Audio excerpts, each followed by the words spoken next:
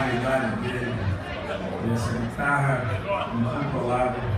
com as pessoas mais doces, garoto, são bom demais. Arthur Menezes.